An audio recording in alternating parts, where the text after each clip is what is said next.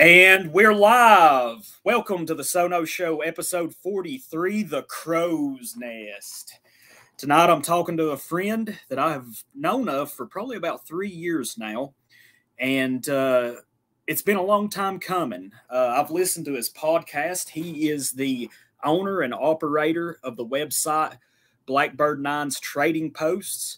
He is. Uh, a pretty big name on the Republican, the Republic Broadcasting Network. He's also host of the Saturday Snack Shack and uh, the Wednesday show. Is that called the Breakfast Club, or is it Wacky Wednesday? Well, the Breakfast Club, you know, great. Well, first, thank you for having me. The Breakfast oh, Club yeah. show, we discon, uh, we stopped that after seven years, but RBN is now repeating it uh, rerunning those, the best of the Breakfast Club on Sunday nights after Robert Rayvolt's show.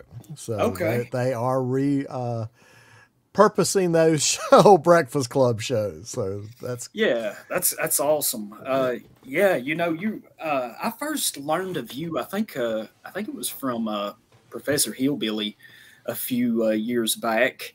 And then also uh, one of my friends, uh, his YouTube channel, he comes into the chat sometimes. A guy named Didymus Sumi did. He uh, he is who first. That's where I was like, oh man, he knows Blackbird Nine as well. So that's awesome. Um, so yeah, it's uh, how how long? How many years have you been into this now? producing your own stuff. Oh wow, yeah. Uh, we launched the Breakfast Club show back in around 2015 and ran that for seven years. And then uh, my Snack Shack show got picked up by Speak Free Radio and RBN. And yes. uh, then uh, RBN's continuing to air the Saturday Snack Shack. And then they've, like I said, they've started taking the second hour of the Breakfast Club shows, which is kind of a, if you remember the late great Paul Harvey, the rest of the yes. story where he would tell these, you know, yes, interesting histories that everybody knew, but then he would tell you the stuff that you didn't know about it. You know, the rest of the story, as he would say. So I always say, you know, the Breakfast Club second hour was a deep dive of history uh, for a post 9 11 audience. Yeah. So. there you go. You're getting into some heavy stuff already. Um, what was that Paul Harvey? Uh, there's a Paul Harvey monologue. Uh, I think it's titled "If I Was the Devil." If I were it's, the devil, yes. Yes, uh, that I remember hearing that when I was a much younger man, and you know it kind of left an impression on me. Um, I was just curious. You know, I named this stream "The Crow's Nest" because my channel logo on YouTube is a raven. Yours, you have the ravens as well. Um, what what made you name yourself Blackbird Nine? I've always wondered this.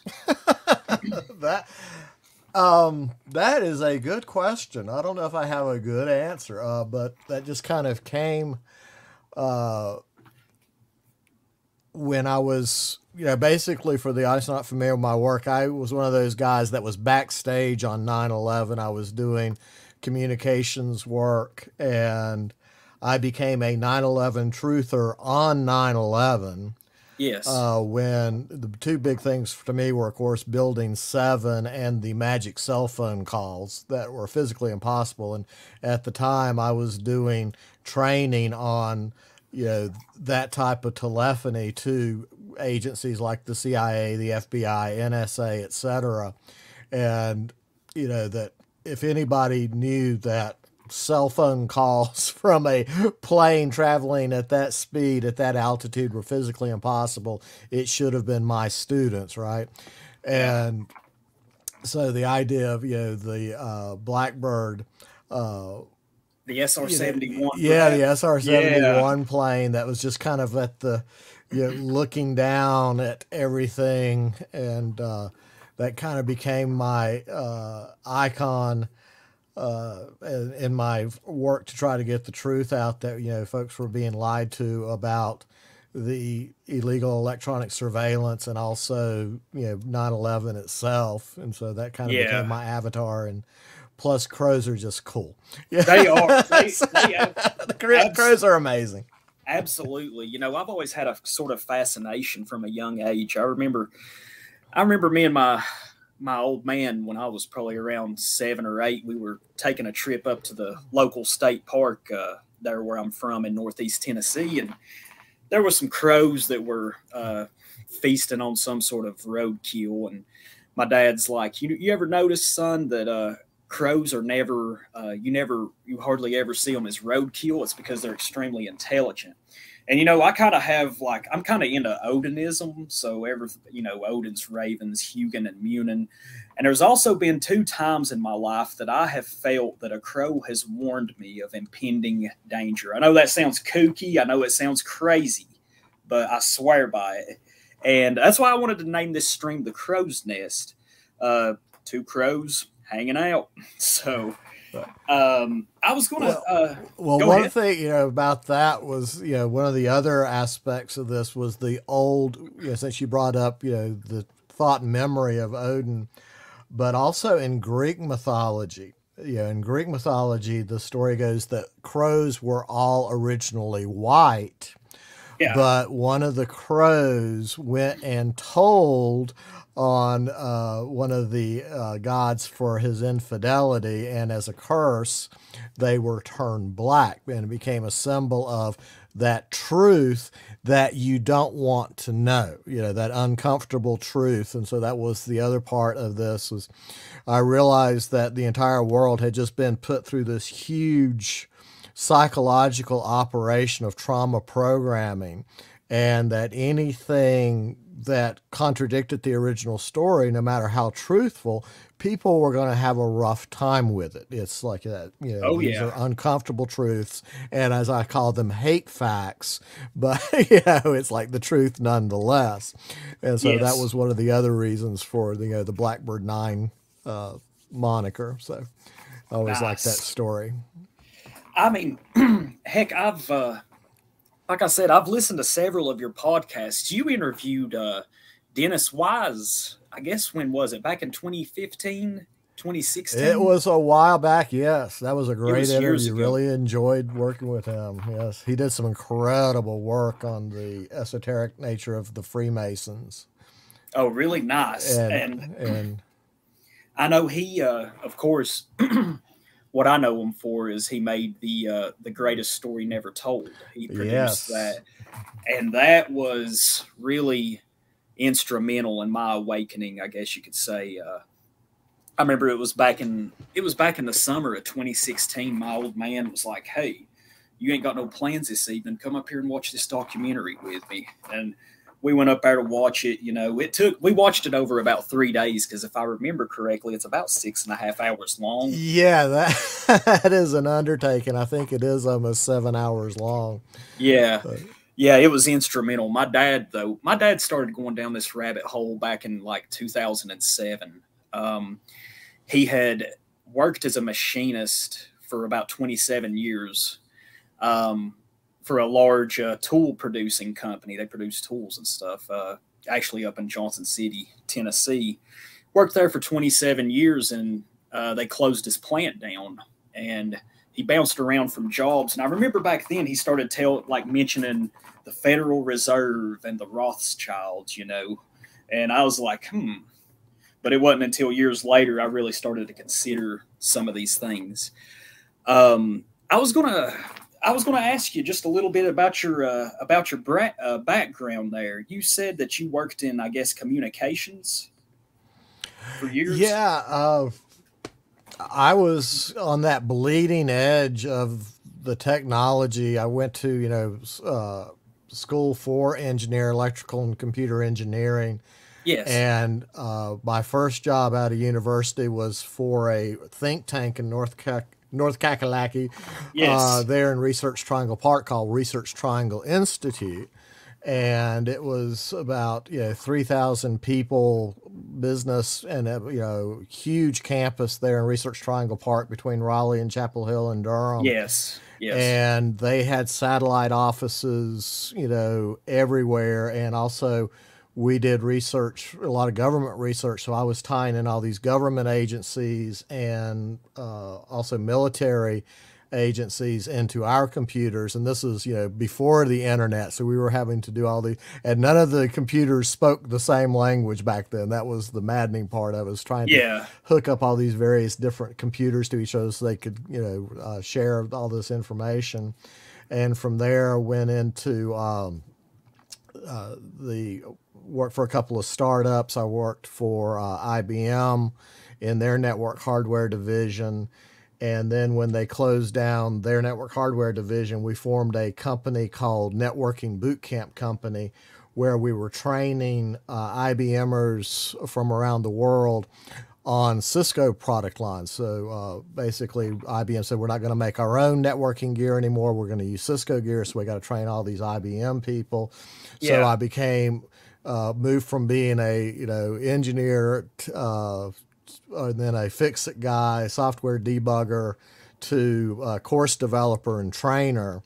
Yeah. And I got noticed by this outfit called Global Knowledge out of Cary, North Carolina in the late 90s. And they uh, asked me to help them develop a set of courses uh, for them. And this they were a big international tr- technical training, you know, IT training company and this was you know the early days of cell phones and so back then you had the computer networks and you had the telephone networks and never the two shall meet right Yeah. completely different technologies packet switching and circuit switching for people that are into that kind of stuff and so this was the beginning of what was called third generation telephony. Now we talk about fifth generation telephony. Back then in the 90s, it was third generation telephony, where we say we're going to make that telephone, that computer, and that cell phone work on the same network, right? And so I was uh, developed these classes for them on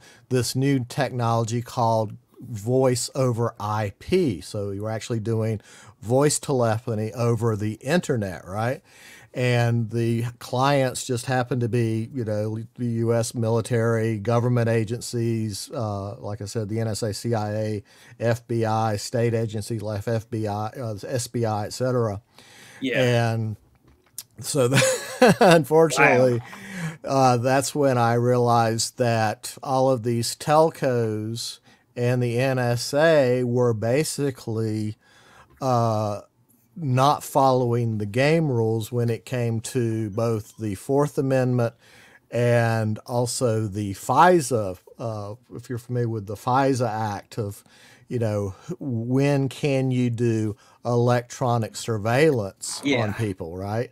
yes. and uh, you know what I was finding at the same time I was still pursuing a career in politics if you can believe that Wow. was- So you uh, you had a lot on your plate. It sounds. yeah like. I was actually uh, in the run up to a 9/11 yeah I was just huge in the state party politics I was you know chair of my county I Yeah. was uh, on the executive board at the state level I was uh, delegate to the national convention I uh, ran for North Carolina House in 20, 2002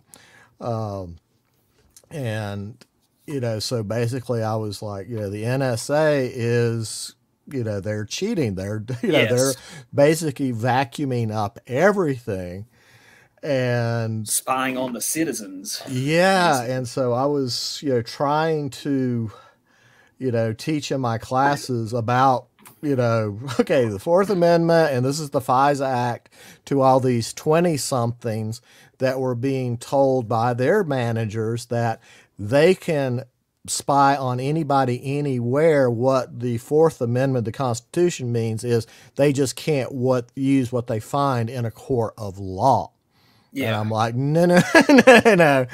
And uh, so my NSA uh, handler was like, okay, we want you to take that out, that out, that out.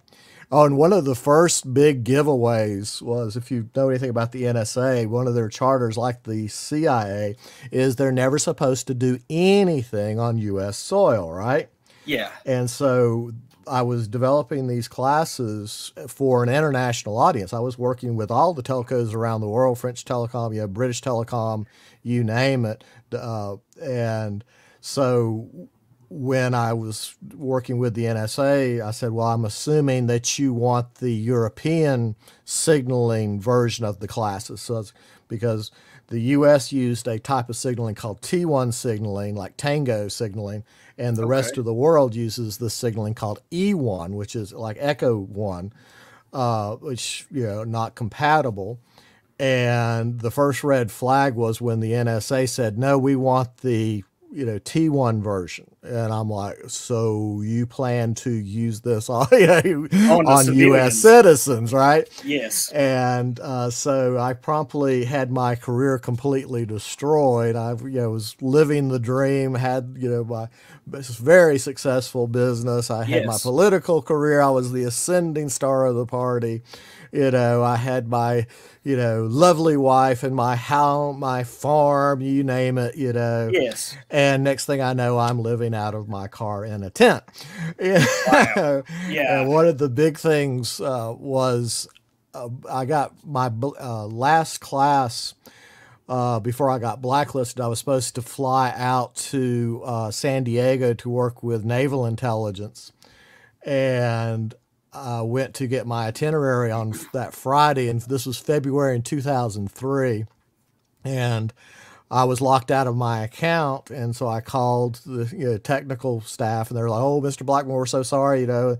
And then they called me right back and said, uh, "We're sorry. Uh, you need to contact the vice president of instructor services."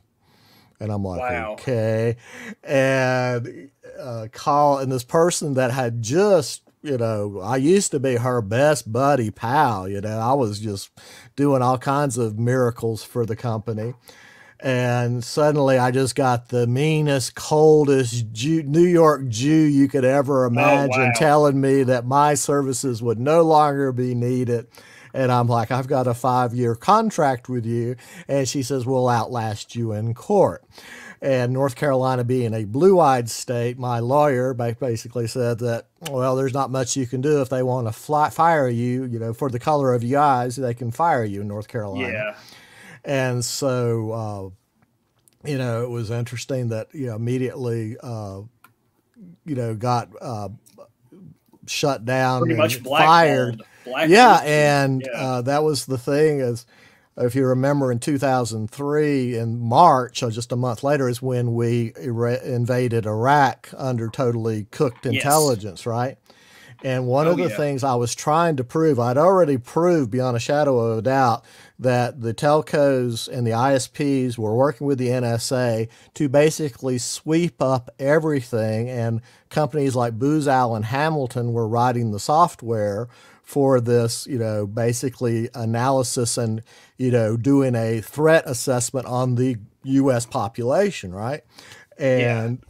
I was trying to prove that there was a back door behind the NSA and I got fired before I could finally prove that part. And then in 2013, 10 years later, after I got blacklisted, Edward Snowden came out with the proof from Booz Allen Hamilton that yes, indeed, there was a pipe behind the NSA going to their Unit 8200 that they were just sending raw copies of everything to. Yes. So, I, I remember. Uh, I remember in 2013 hearing the news about uh, Edward Snowden and you know the NSA uh, being able to access everything, any message you sent, any phone yes. call.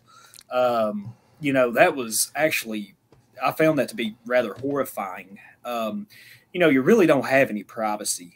I mean, with technology, it seems like it's. Uh, I don't know. Sometimes I worry uh, where all of this is headed. You know. Um, so you've had a very very interesting ex- uh, life experience, a really interesting life story for sure. Man, it's. Uh, I was going to ask. Uh, you're you're from North Carolina originally, right? Right. My uh, family comes, you know, in these Appalachian mountains. You know, they can f- trace the fa- Blackburn family line, you know, to colonial times. Yeah. And uh, now, in full disclosure, I was actually born on a military base in New Mexico, and my father was still in the Air Force. But, you know, North Carolina is home. So as soon as he retired, I was born basically at the beginning of, or at the end of 62, and at the uh, end of that year, uh, you know, we moved back to North Carolina where you know the family was. Yeah. Uh, so, but you know, I'm definitely a you know Tar Heel and Bloods. yes, yeah, I'm a volunteer just across the state line from you. So I mean, uh, yeah, hell, I mean, I was born uh, actually in Banner Elk, North Carolina, at the old hospital up there. Oh, okay. Back when we still had, back when we still had four hospitals in this county before the uh, chicken swingers moved in and fixed that for us. Now we only Oh, have yeah. one. You know, it's uh, it's wild. Uh, I've listened to your uh, covering of this, like the the the the actions of like the city hall and all the the local politicians there in Boone, North Carolina, and I mean, it sounds, you know, I live in Southeast Tennessee now. I still go back home, you know, every every few months or so, check on my place, visit my family. I haven't been to Boone, North Carolina. I don't think since back in 2018. Um, I know Boone was always. I I went to college at East Tennessee State over there in Johnson City, and Appalachian State, you know, is basically about the same distance from uh, where I was raised on the mountain. I always noticed that there in Boone, like the people that I met there through work and uh, just doing whatever you know a college kid does, uh, it seemed like I, I noticed that they were much more liberal over there. Which, of course, you know you have your liber you li- your lib shits in like East Tennessee. Of course, it's a college, but I noticed that it seemed like Boone was going the route that Asheville, North Carolina, has went. Uh, yeah, go ahead. What was you going to say? Oh, just yeah, you're spot on. And when you start doing the history of it and look at the Frankfurt School in Germany, when they got ran out of Germany in the 1930s, they came to Columbia University in New York. But before they went to Columbia University, a lot of them came to Asheville at Black Mountain College. And when Black Mountain College was finally shut down for being degenerate communists, you know, a lot of those people came to Boone. And you know, a lot of them went to Asheville and destroyed Western Carolina there, but a lot of them infiltrated themselves into Boone. And you know, it's always been, you know, not always, but you know, there you could definitely see in the 70s this big push to make this very conservative teachers college into this radical liberal college. And Yeah. then after 9/11, you just it just really just to the max where they basically infiltrate it with about 200 of them with their ill-gotten gains, just bags of money, know, carpetbaggers with money, and just started buying up everything. They bought up the newspaper, you know, the, the Watauga Democrat, you know, the Yeah. Adams family bought that, you know, uh, and they're just long time you know, propagandists. You know, Cedric Adams, uh, the the voice of the Midwest. You know, he got his start doing war propaganda to convince the Midwest that you know we needed to go into World War II. Oh, right. Oh wow. Yeah. And then his son Stephen Adams was Skull and Bones at Yale, right? And they bought up you know, the newspaper. Then they put in this you know chancellor here. I call all the locals call her Jezebel, but Sheri Really? Everts. And you know she is just the epitome of the you know militant lesbian. You know I hate everything to do with white men. White men culture has to be destroyed.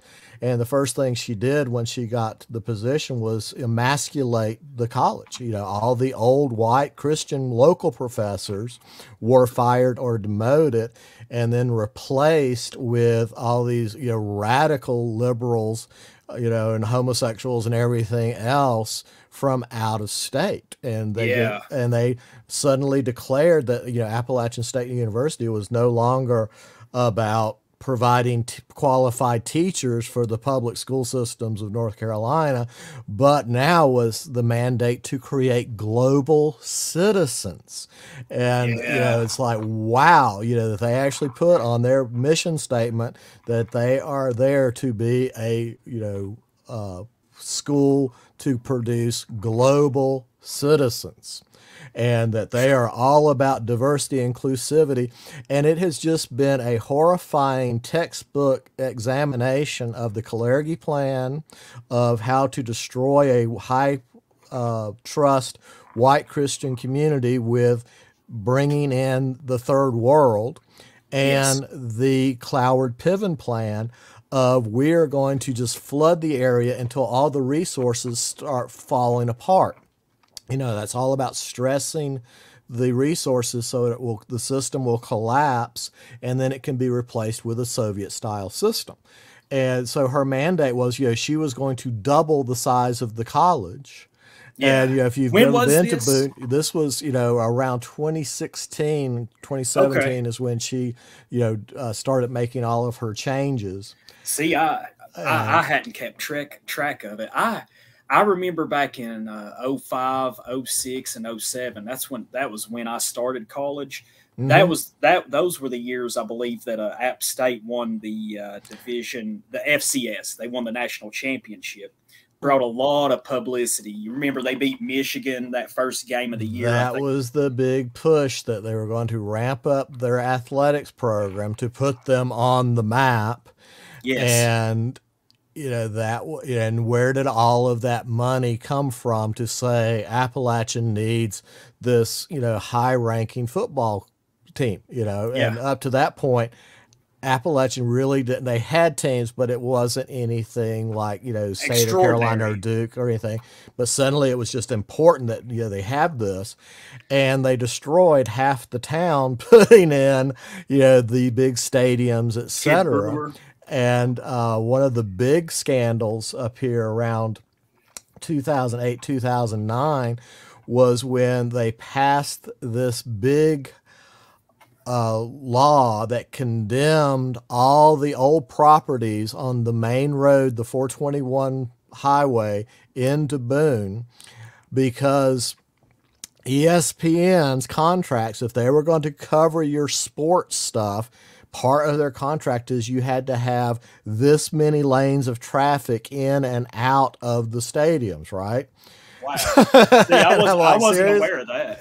Yeah, wow. and it's like, okay, so we're sacrificing, you know, the heritage, the you know, the history, all these old, old houses that had been here forever just got in businesses. So many independent family businesses just got, you know, condemned, will buy you out and there's nothing you can do at you know eminent domain.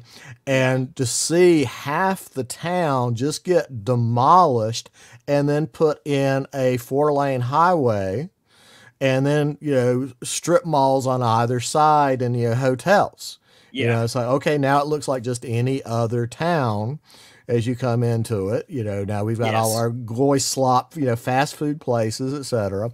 When originally you had all these incredible houses that still had the old spring houses. If you know what a spring house is for keeping things cold, you know, where you had all this yes. natural springs coming off the hills all along there. Your Billy refrigerator. Yeah, and all of those springs got tapped out and routed into the sewer lines and you know all those old historics. A lot of them are stone houses, you know, from the you know, rocks around here that were just you know should have been preserved under historical you know claims, but instead were completely destroyed so that App State could have their you know champion sports ball team. You know, yeah. And again, first thing they did was stop recruiting white guys. Yep. You know, and suddenly yep. it was like every you know, person on their athletic teams were these angry black guys, right?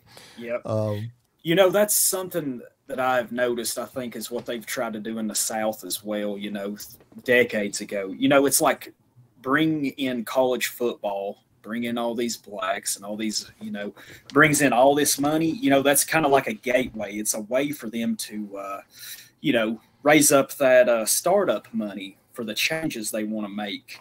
Um, I wanted to go back a second. You mentioned earlier, what was it, Black Mountain College?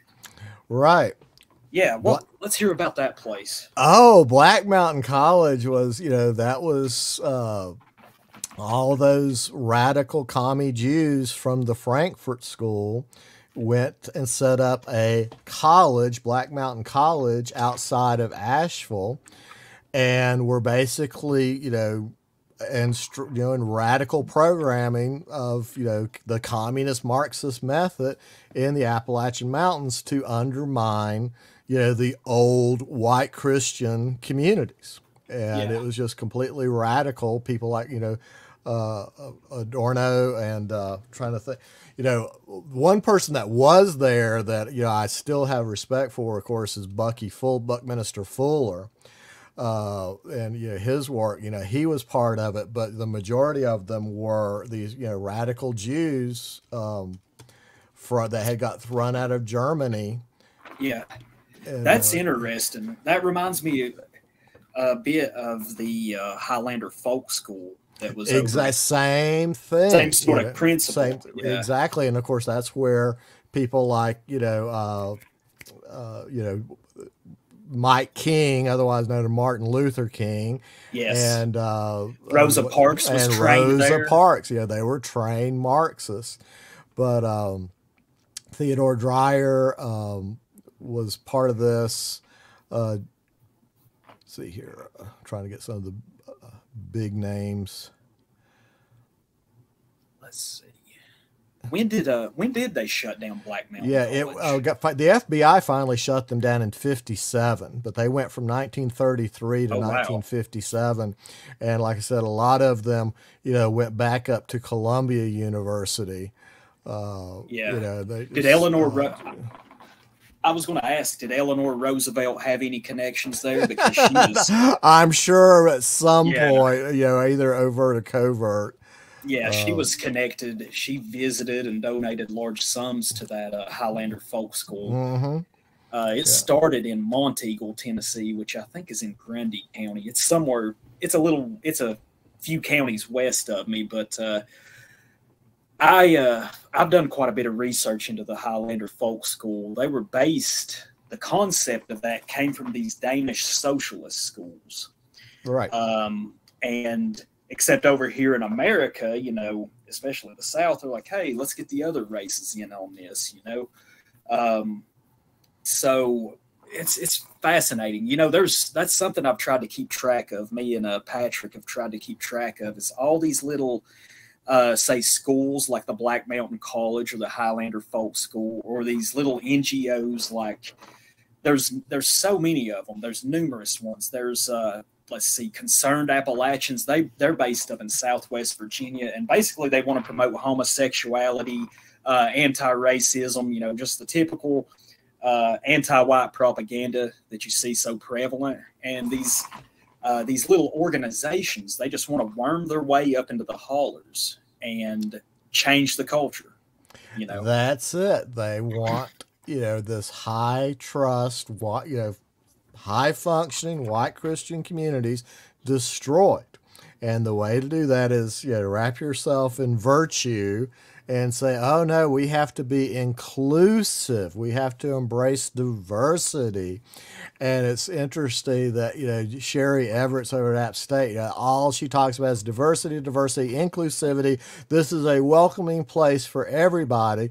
And the first thing she does is ban Identity Europa as being a hate group, and yeah. you had the Watauga Democrat and the ADL and the SPLC and the NAACP all saying, yes, Identity Europa is a hate group. They must be shunned. And I'm like, okay, so the people that actually built this university, European stock, are no longer welcome under this umbrella of diversity inclusivity but you can have everything from La Raza chapters you know to lgbt group you know trans groups you know you name it. App state embraces it but no white pride is allowed at all. Nothing that celebrates european heritage is allowed because that's hateful you know, and you just look at, you know, who are the people that are now in charge of that university. And it's not the, you know, it's definitely not the Dougherty brothers anymore that founded the university. Uh, and it's just, you, you, find, you know, basically it's the same trick as, you know, uh, follow the money. You just flood yes. it with money.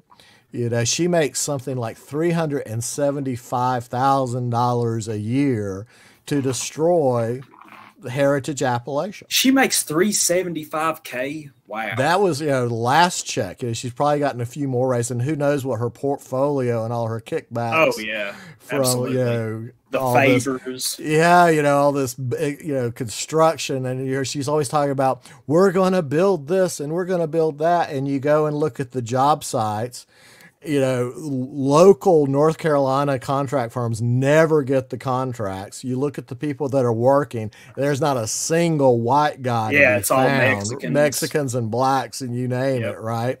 But it's, you know, this is going to help the community by providing jobs, you know, and it's like, no, it's not, you know, no. it's, it's such a lie.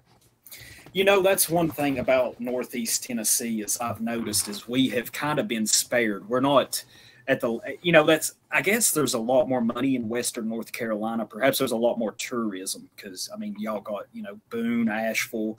You have the highest peak east of the Rockies, Mount Mitchell. Um, lots of I mean it's absolutely beautiful.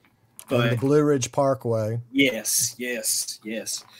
Um, you know it's absolutely beautiful, but east northeast Tennessee we've kind of been spared that because it's more. Uh, more of a depressed region for the mm-hmm. most part.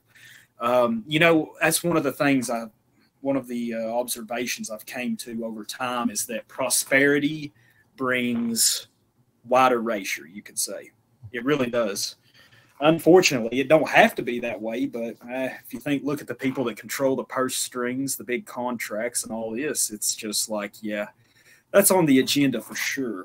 Um, well, also one of the things that we have here is all these people fleeing New York, California, Oregon, uh, and Washington are coming here and they're bringing their ill-gotten gains and their politics. So, yeah. you know, the politics that destroyed those states and those once beautiful cities they're bringing that same philosophy here and you know thinking they're just going to set up their own little gated community here in the mountains of North Carolina and ride out the apocalypse in their gated communities. Yeah. And you know are just destroying our way of life and they just you know well we've got to get progressive candidates and so basically you know they've run all the old local families out of local politics and it's now just this radical, uh, you, know, you know, virtue signaling uh, bunch of you know puppet politicians that are just basically getting you know their agendas from up above and they've run it through and it's always unanimous votes. The boone city council voted that you know we support pride month and the boone city council unanimously says that you know hate has no place here and that any anti-semitism will not be tolerated and you know that we're a diverse welcoming community by unanimous consent and you know they don't allow any discussion of any of this stuff. It's like, you know, you're either, you know, with us or you're, you know, we're going to destroy you. You know, that's basically the attitude here. And yes, absolutely. Um, yeah, I've always, I've always been interested in hearing your stories about the inner, about the uh, inner workings of up, how things are going up there in Boone, North Carolina. You know, that's that's one of the heartbreaking things too. Is you know Boone and Asheville are two, are two towns that are in possibly uh, the most beautiful areas east of the Mississippi River. Yeah, look what I mean. It's an absolute uh, cesspool. You know, I mean, especially Asheville, North Carolina. Good grief, I have heard so many horror stories from there. Um, oh, I mean, it's not safe to for a white person to go to Asheville anymore. And That used to be one of the most beautiful tourist towns to go to and they fixed it and it's the same people with the same agenda and they're doing it here. Um, you know the same you know Kalergi plan Cloward Piven plan and you know yeah. one of the things that was funny about Asheville they finally had to admit that they spent all of this money on these electric buses right? Oh wow and none of them are running. I think maybe they've got one that's still working on limited routes or whatever, but they can't get replacement parts for them, and it's cost prohibitive. And you know, it's this big embarrassment to them that they spent all this money. And the same thing here, you know, Boone bought its electric bus and Boone bought its electric police cars. And it's like, how are they doing in these, you know, winter weather when you got sub zero temperatures? Have any of them caught on fire yet? You know? Yeah. Wow. That's, that's a stunt. See, I wasn't aware of that. I know, I do know. Uh, have you ever heard of William Dudley Pelley before? That sounds familiar, but go ahead. Who's uh, William? Uh, he was let's see. Basically, he lived in Asheville, North Carolina for a period of time. Uh, he started a group called the Silver Shirts, and I don't know. Oh yes, that's where I know him from. Yeah. Oh yes. You know that started there, but it's also like now on the other side of the extreme, it's like Antifa. They have a very strong presence, from what I hear in Asheville. Um, Go ahead. What was you going to say? Oh, I was just going to say, you know, Asheville and Boone both have huge Antifa BLM factions. Yes. Uh, that are just completely radical. And also, we have a very radical uh, LGBT group up here. I think every Jewish lesbian from New York and California suddenly decided after 9 11 that they needed to move to Todd, North Carolina and go oh, to work oh, for Appalachian no. State University and make the lives miserable of every white guy in the county. yeah, absolutely. That's their. I mean, they are the most miserable dragons you could ever imagine. And they just get off on messing with the locals that they just, yeah. you know, and they've got plenty of money, of course. And, you know, I was going to, I just wanted to tell this story real quick. And it, it's going to lead to a question I wanted to ask you here, here when I finish it. But I've got a few friends who have our views in Western North Carolina. Uh, around one of them is in Buncombe County, and he told me this story a couple of years ago somewhere in Buncombe County, if I remember correctly, that's the county that Asheville is in. Yes. Um, but he lives, you know, probably about 20, 25 miles, I guess, from it. And there's a little gun range.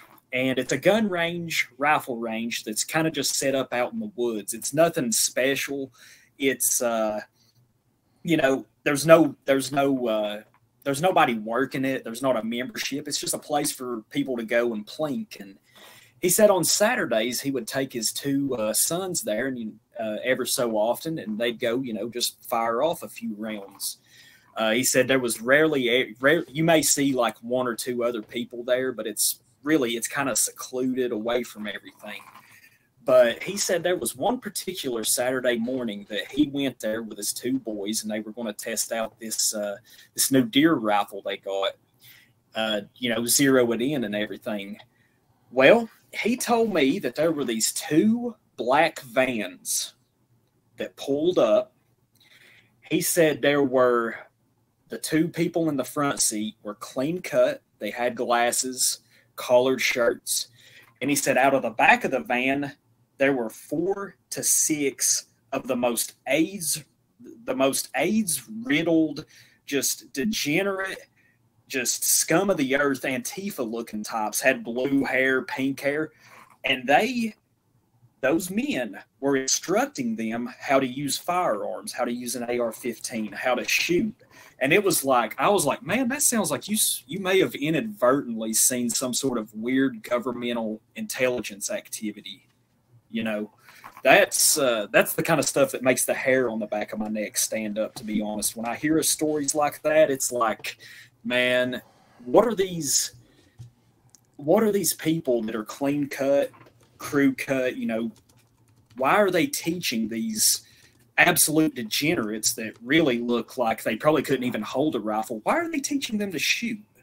You know, so that leads me to the question I wanted to ask you: Is there a lot of weird activity do you believe that goes on in the state of North Carolina with, say, the CIA or these various sort of intelligence agencies? Oh, there is all kinds of stuff. It is not just domestic stuff. There was a big uh, expose during the Obama years where basically you were, you know, if you remember Fast and Furious, where they basically were, had drugs and guns running, right? And Yeah. it was all about getting the guns into the hands of, you know, the you know, people invading the country. But also, you know, you have these groups that bring in people from like the IDF, you know, to train Okay. up in these mountains, right? And a lot of these Jewish summer camps up here, you're always joking about all the Jewish summer camps in North Carolina that pride themselves on how many, you know, high ranking IDF and Shin Bet and, you know, uh, uh, you know, Mossad uh, officials they bring in to work with the kids, right? Wow. See, so and you know, is and there? then you're telling me there's a lot of Jewish summer camps in Western North Carolina? oh yes, do a search on that. Then they are high dollar, and they it's Wow. pretty amazing. How big uh, is the Jewish population in Boone by chance? See, I didn't know they had much of a Jewish. We population. didn't until I. Wow. Up until you know in the 1970s, you had just a couple of Jews, and they would meet together at the Lutheran Church. The Lutheran Church would let them meet there. But then after 9/11, you had the uh, you know the Schaefer ga- gals. I have another term for them, Yeah. but they are the um, yeah hardcore lesbians, friends of you know. Uh, uh, Gloria Steinem, and their father made his billions from the Claire stores and all the U.S. shopping, or actually the Claire stores and shopping malls around the world. I mean, the guy just made billions, you know, selling Chinese crap made by slave labor in China to teenage girls, right? To make Yeah. them act like prostitutes, right? And that's the Claire stores.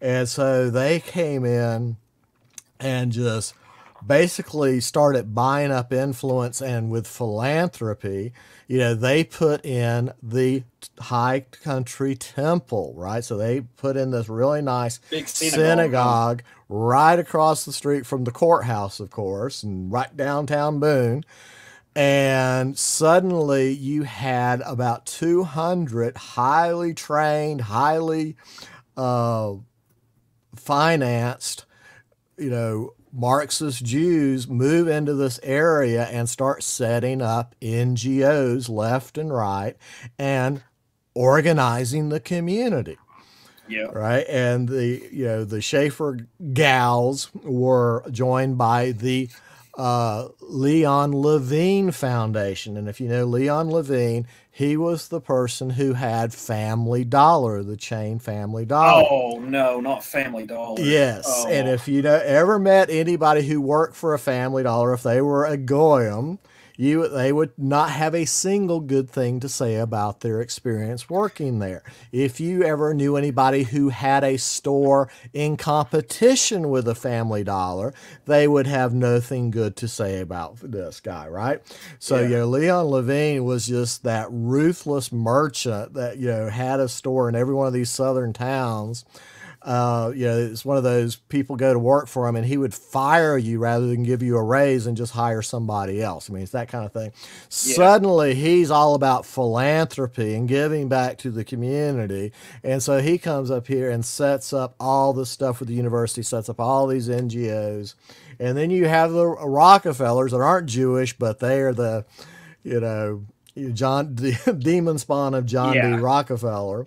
Yes. And they're here to Tikkun Olam, the Appalachian Mountains, by basically running all the heritage people off, buying up their land, and putting it under a land covenant so that you can no longer have a business on that land. You can never have a farm, a garden on that land anymore. You can Yeah. never build a building on that land anymore. And they call it the Blue Ridge Conservancy. Doesn't that sound nice? You know, It the Conservancy. nice, but- And they have basically surrounded us here in our little mountain valley that uh, Atma's family has owned since colonial times, and she and just a few of her relatives are the remaining ones. They bought everybody else out, and we're basically under siege. I mean, you would yes. not believe the uh, covenant that they put us under. Uh, during the what we call the battle for Blackjack Mountain. But you know, it's all this NGO virtue signaling. We are fixing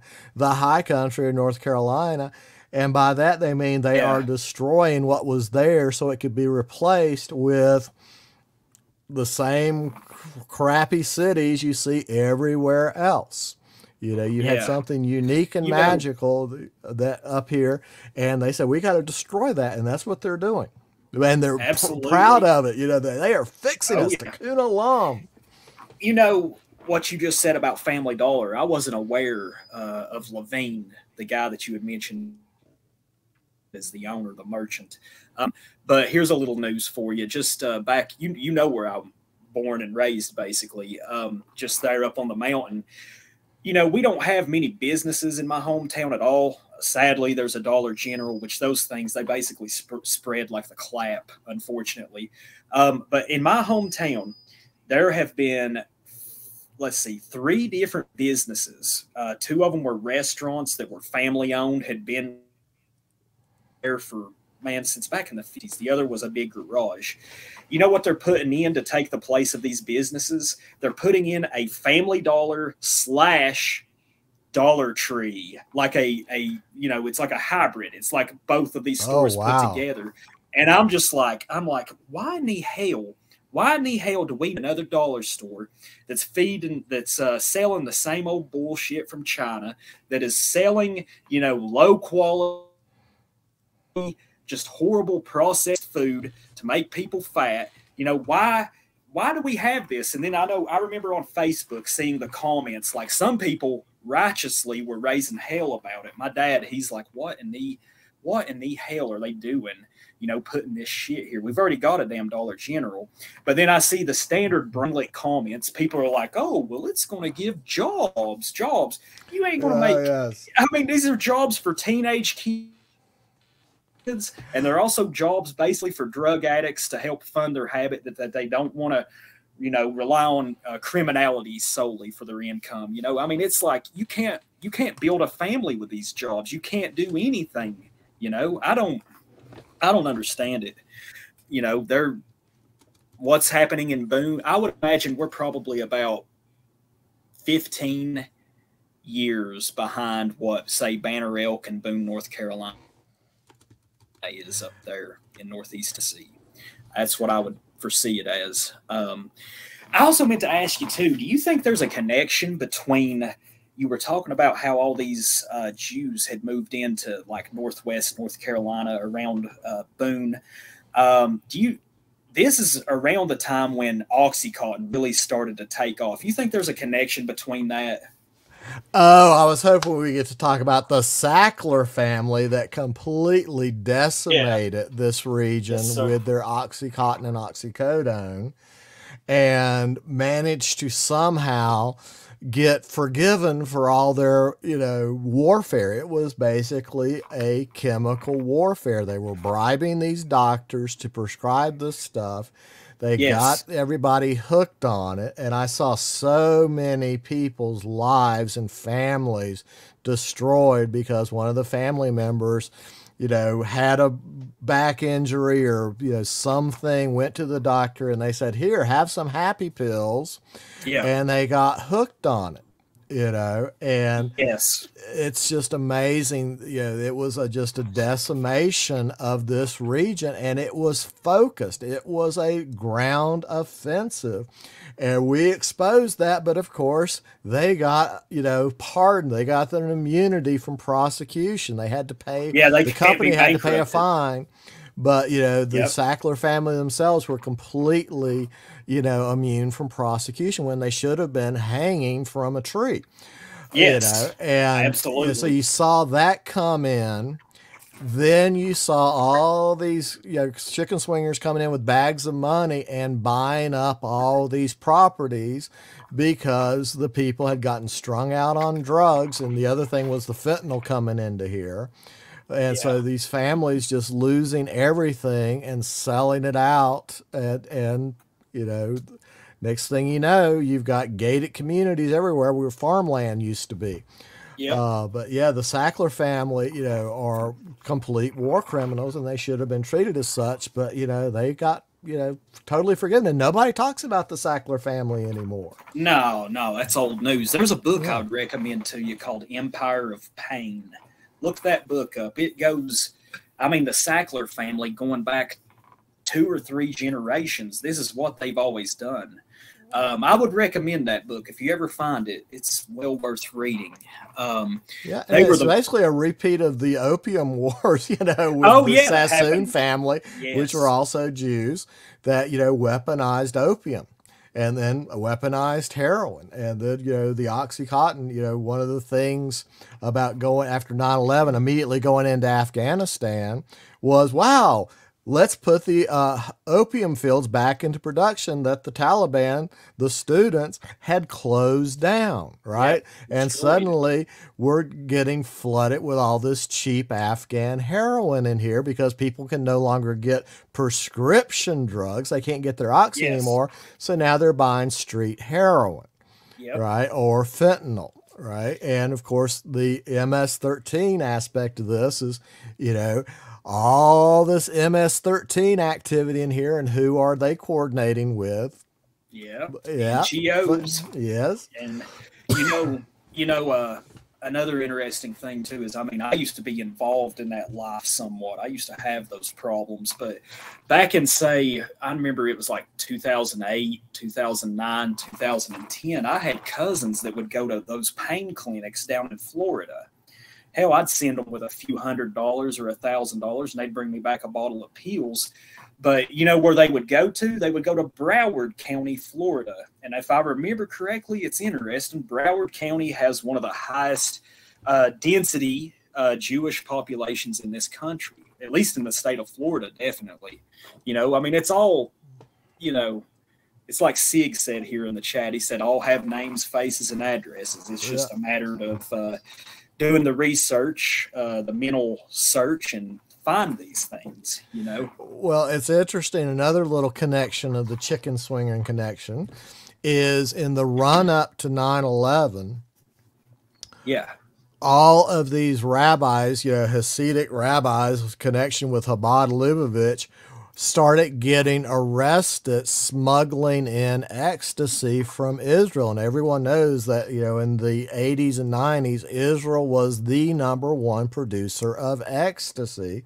I and did not know that. The, Yes, and I you had all that. of these hardcore, you know, Zionist rabbis that were just doing the shuttle between Tel Aviv and New York, and then from New York, it, that ecstasy went everywhere. So that whole rave culture, uh, you know, in the came run up to 9 11 came from Tel, Tel Aviv, right? See, and yeah, and then you know, once the war started, then that got replaced with the heroin money. Right. So, but all that ecstasy money was financing so many of those black ops. And if you watch the band Fox News report of Carl Cameron uh, that came out in December after you know 9/11 where it was talking about all these Israelis, over 200 Israelis that got arrested before, on, or right after 9 11 and all had ties to Israeli intelligence, and they were running drugs and you know artwork, and most likely that artwork had bugs in it that they were you know yeah. selling to all these important government agencies, and wow. they had these really high tech electronic uh, outfits where they were basically uh, spying on all the DEA agents and all the local law enforcement. So, you know, they knew exactly where they were at all times and staying one he- step ahead of them. And they had all their informants in all these agencies. So once, you know, the law enforcement would try to bust them, they'd change their operations. Right? So you're dealing with a military grade operation here of running drugs under the guise of Israeli art students. And then after 9 11, they got rounded up. And rather than facing firing squads, which they should have, they all got deported back to Israel by Michael Chertoff under. Uh, they call it, you know, basically visa violations, right? Yeah. So rather than, I mean, these, you had people in vans, right, with explosives arrested on 9 11, get sent back to Israel. And the story was, you know, just whitewashed from the news. So yes. if you haven't seen that four part series by Carl Cameron on Fox News, you know, definitely go watch it. Believe it or not, it's, you know, you can still get it online. Yeah. You know, they tried to kill it, but, you know, the internet is forever. Uh, but it is very telling of what was going on in the run up and just how sophisticated an operation it was. Yeah. You know, I also wanted to ask you too do you know much about Blackwater? Oh, the uh, paramilitary uh, yeah, mercenary group. Yeah, yeah uh, was Prince. a Prince. Yes. Yeah, uh, they, uh, you know, I think they bought like six thousand acres of land out there in uh, the Great Dismal Swamp uh, there in you know coastal uh, North Carolina, uh, northeast North Carolina, not far from the Virginia line. I think the Great Dismal Swamp actually takes up part of Virginia and North Carolina. Do you know much about them? You know, it was such an interesting story how they made their millions, you know, in the yeah. war on terror. And basically, you know, you had these privateers, you know, that could go in and do the black ops that, you know, military technically couldn't do.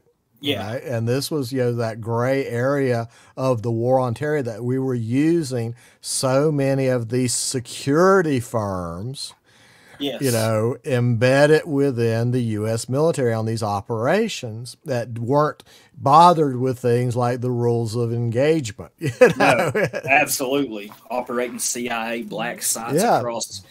Uh, I mean, it's it's some stuff that you know raises the hair on the back of my neck. You know, reading about this. Uh, but yeah, I was just curious if you knew. That's also something uh, about North Carolina. Some of those weird activities. It seems like each state I've, I've read a lot about some interesting activities that go on up in Kentucky and also West Virginia, but I didn't know much about some of the stuff in North Carolina. But it seems like there's just weird, uh, glowing sort of activities in a lot of these states.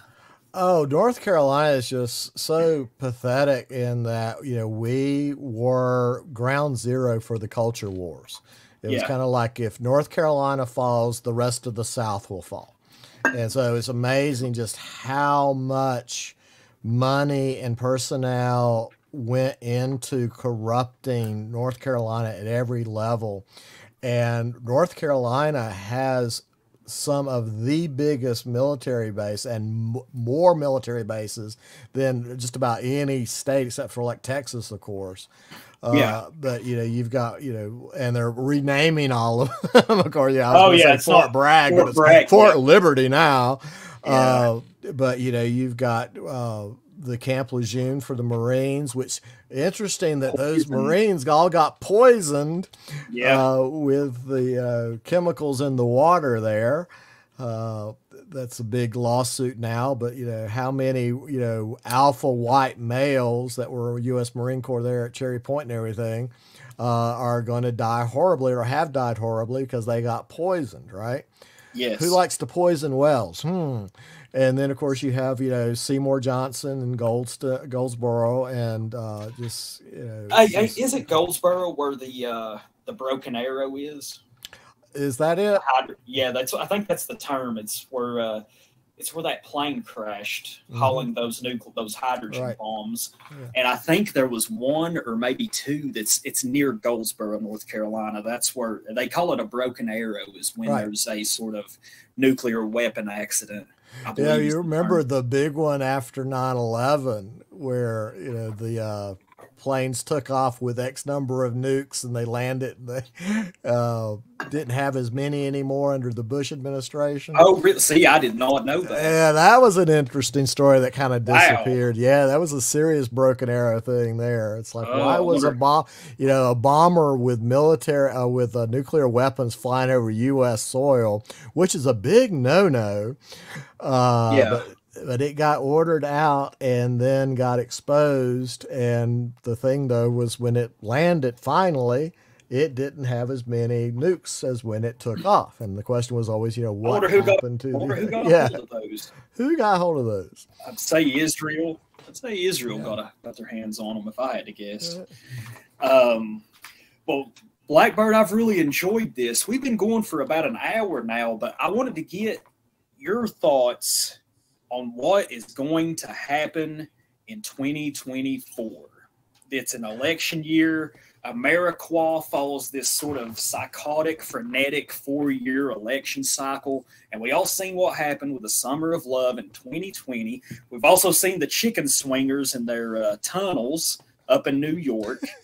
uh, what do you, what in the hell do you think is going to happen, Blackbird? Oh, wow. I pull out my magic eight ball and my crystal ball. What does the future hold? Uh, yeah, you know, we're definitely in at the beginnings of what could turn into a hyperinflation cycle.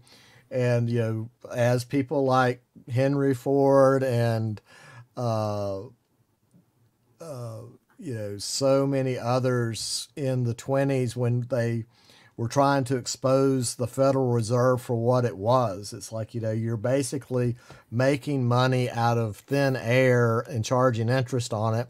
And the people issuing the money can do anything they want with that currency, right? And, yes. uh, you know, Lindbergh was a huge uh, voice of this and what happened with him with the Lindbergh baby, right? To shut yes. him up and run him yes. out of the country. But, you know, when you look at what happened to Germany in the 1920s with just their hyperinflation rate, where the currency just got completely devalued, and uh, you know, I you know went and bought my usual groceries on Friday, and instead of you know when I first moved back here, uh, I'm a very boring shopper. Our shopping list doesn't change much from week to week. Yeah. But, you know, I could go buy the groceries for under a $100, right? Yeah. It was like $300, you know, for the same uh, stuff, you know, this past yeah. Friday. I took a couple of the crew out for lunch today, and we just basically had lunch sandwiches at the mall, and it was 40 dollars, right, oh, yeah. for just a couple yeah. of sandwiches, right? Uh, and you know, uh, so you we're looking at this continued hyperinflation where the value the dollar is just you know it's running on fumes you know what does the american economy offer the world we don't produce anything the big lie of that service economy you know, after Bill Clinton, friend of Jeffrey Epstein, sent oh, yeah. all our industry to Mexico and China and India and Vietnam, etc., and all the plants and factories up in these mountains all closed down and moved offshore. You know, we don't have anything we're producing anymore. We're being flooded with the third world. We get buses loads up here. I don't know what it's like where you are, but we've got all these wonderful NGOs that are all interconnected. The big one is, you know, I said, uh, uh, Justice for Latinos or some such foolishness. And, you know, they basically get them off the buses, set them up with welfare. You know, that's the you know, Cloward Piven plan. Put them in house government, you know, housing, give them you know welfare cards, etc. And you know, uh, the ones that do work are getting first pick of the jobs up here. You know, local white men. What I've found in my 20 years back up here is local white men need not apply for any job because all the companies up here have ESG quotas where we have to have diversity, right? So yeah. you got to have that DEA rating. Um, and so, you know, what jobs there are aren't going to go to heritage Appalachian families. It's just not going to happen. No. And so, uh, you know, how are we going to get through that part? And then on the international stage, you know, we have been operating under the 1982 Oded Yinon plan of Greater Israel that was you know, the new Pearl Harbor to launch the Oded Yinon plan of taking out seven countries originally in five years. That was the Wolfowitz doctrine that they were going to take out seven countries in five years. They're behind schedule, but they are not giving up their aspirations of greater Israel. You know, Bibi Netanyahu thinks he's King David right? And he's going to bring in from the Nile to the Euphrates, and that you know they took out Iraq, they took out you know all these other countries. Iran is the last piece of that puzzle to them, and they're trying their best to make the U.S. and Britain go fight that war for them, right? Go topple that government.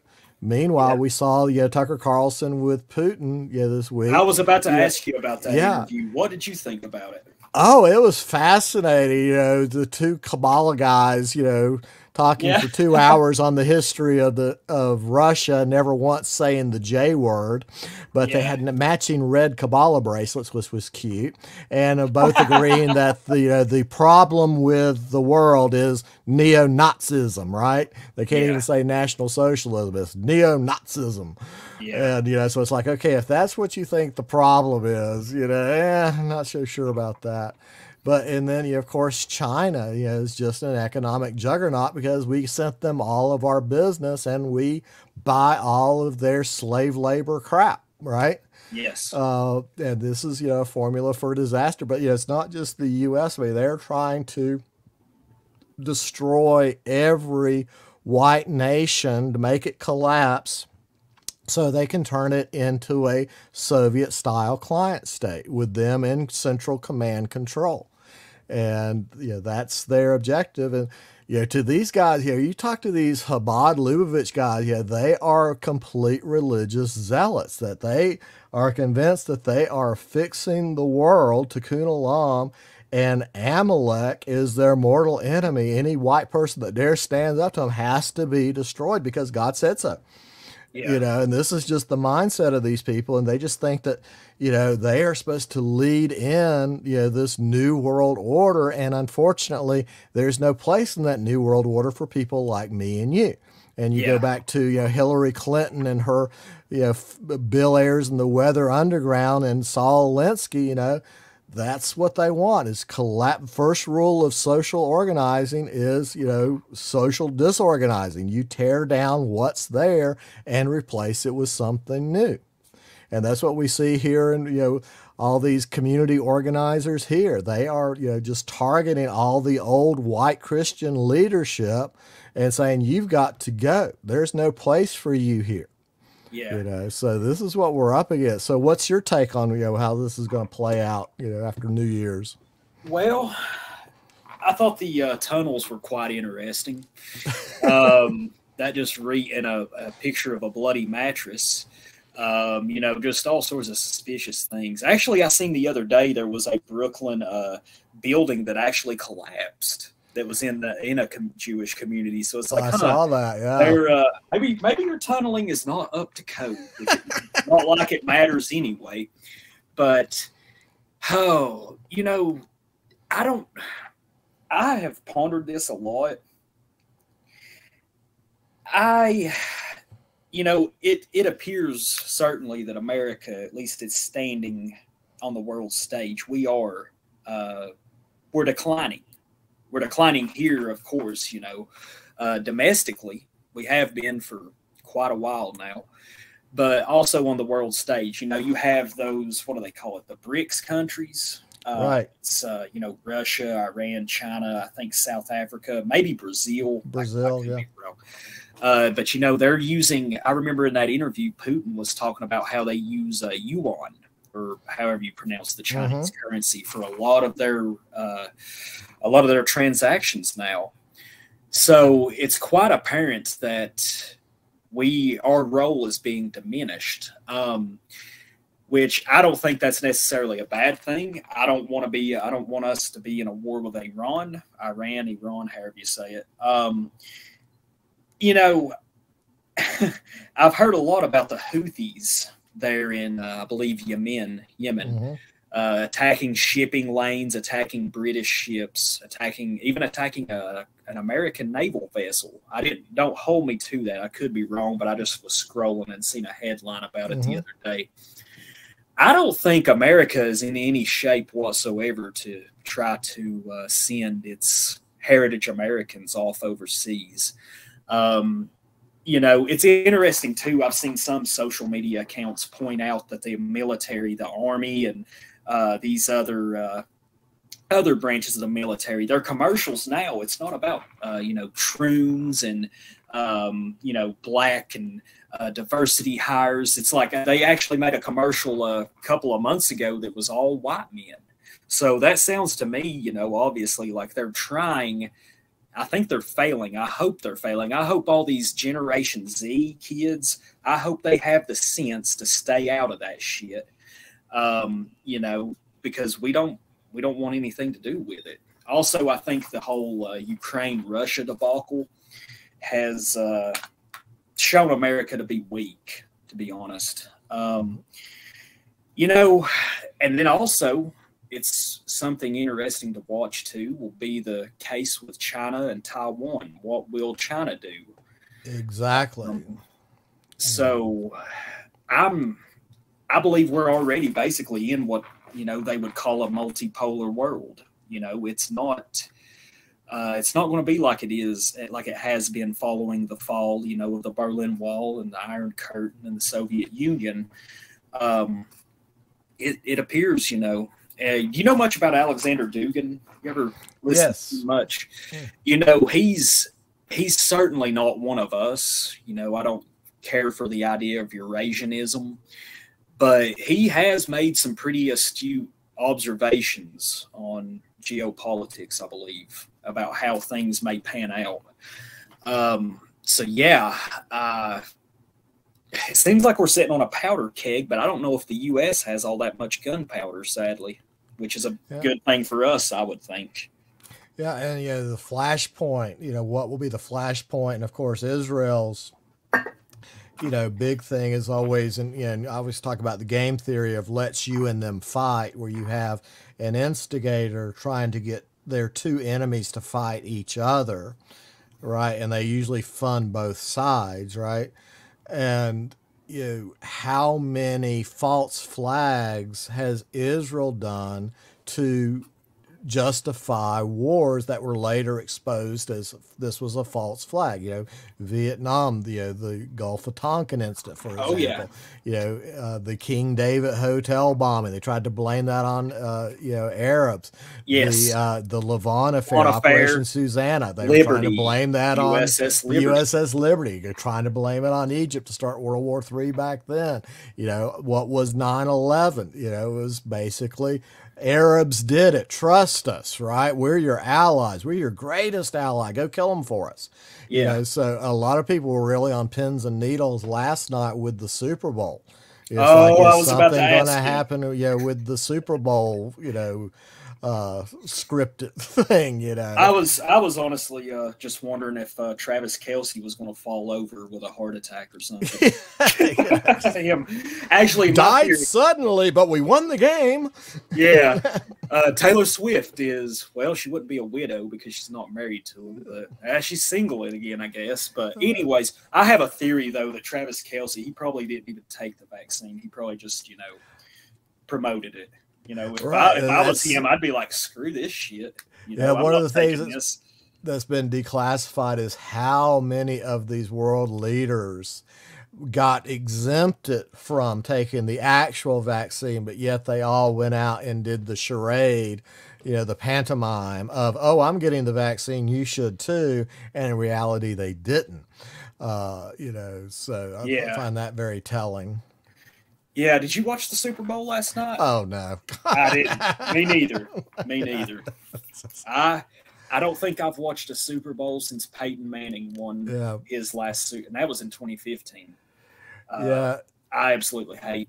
I despise this. Uh, yes, it just. I just. You know that everybody's like, oh, this is part of America. And it's like not my America, but you know, it, it, it had some. I, I, appreciate like the history of sports, kind of. You know, like the old major league, like you know, decades ago. Even the NFL, you know, like back in the seventies and the eighties. You know, it was mm-hmm. now. You know, you know, I read the other day they're replacing the white man in the NFL, of course. I mean, the quarterback historically has been a white man's position, but you know, you have this mulatto, uh, Patrick Mahomes. He's the new star, you know, since Tom Brady is retired. Uh, I actually read the other day just a random sports fact, and this stuck in my mind there has not been a white cornerback, you know, corner. They play defense, they cover the receivers. There hasn't been a white cornerback start in an NFL game since Jason Sehorn of the New York Giants did back in uh, 2002. So that's been almost 22 years ago. So it's like, I don't give a shit about sports anymore, but I thought that was a very uh, telling assessment of where this country's headed, you know. Right. Well, you know, we see what you know sports ball has done to Boone, North Kakalaki yes. by Appalachian yes. State University, and the one of the things about you know athletics is so many people warned against letting professional sports into America because they said it will be nothing but trouble you shouldn't do this. Yes, college athletics is one thing, but professional sports is a recipe for disaster. And a fellow Southerner who is one of my favorite content creators, she goes by Really Graceful.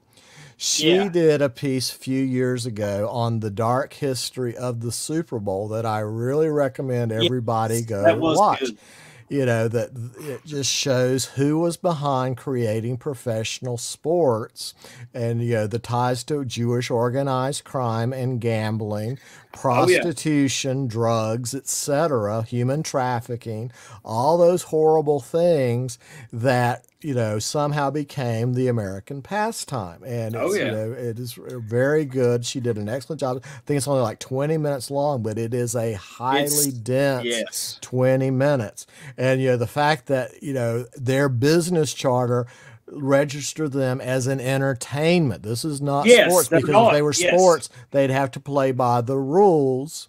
But if they're entertainment, it's like championship wrestling. Not, Who do we want to win? You know? Yeah, they're not liable. Yeah, and so you basically just have these guys in cute little outfits, you know, uh, playing out a pantomime. Yeah. You know, and that's you know that's not ethical in my book, but you know that's where this is where we are. So it's the bread and circuses of late Rome, you know. It's the bread and circuses, and that you know these people that you know they don't identify with their local community anymore they don't identify with their local church anymore they identify as the, the part of their local team you know yeah. oh i'm from you know north carolina so i support the you know charlotte panthers right and it's like, yeah. who cares? You know, why yeah. do you want a professional sports team? And you know, we that could do a whole show from your area. Nobody from your area. There is no blood connection. No. And yeah, we could do a whole show on just the racket of these people coming in, pushing to get some kind of pro team in an area, build a stadium. They get halfway through it, the money's gone, and then the taxpayer has to come in and finish the project, right? And that yeah. has happened time after time after time. And it's always the promise of this will bring in revenue, this will bring in jobs, the blah, job. blah, blah. And it never pans out, but the rich get richer and the poor get poorer. Yep, absolutely. You know, you mentioned a minute ago uh, uh, sports books and fixings. Uh, that reminded me of the 1919 World Series. You know, the Black Sox and uh, Arnold Rothstein, uh, the Chicago White Sox. Do you remember? Have you read about that before? No, tell me, is this a good uh, fear and loathing story? yeah, um, Shoeless Joe Jackson. He was a Southern boy. He was from uh, South Carolina, actually. Uh, he couldn't read, couldn't write, but he could hit home runs. He was on his way to be one of the greatest ever.